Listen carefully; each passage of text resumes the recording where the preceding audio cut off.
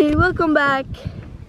Today we are we got this another horse, and well, he's kind of a uh, spoiled slash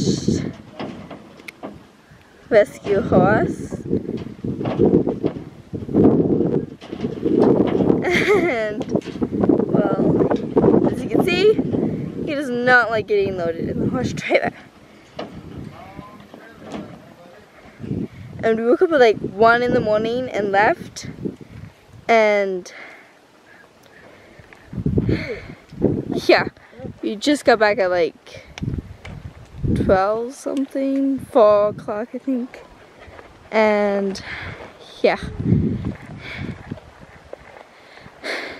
A long day. Non-stop. Well we did take a couple stops for that to fill up his water and stuff. Give him hay Jazzy, is that you? so yes, I got my legs back. That was probably so cute. Alright, we're gonna go get his water.